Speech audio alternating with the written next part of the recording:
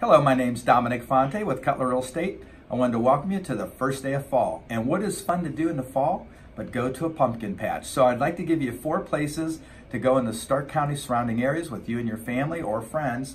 First one is Arrowhead Orchard Fall Fun located in Paris, Ohio.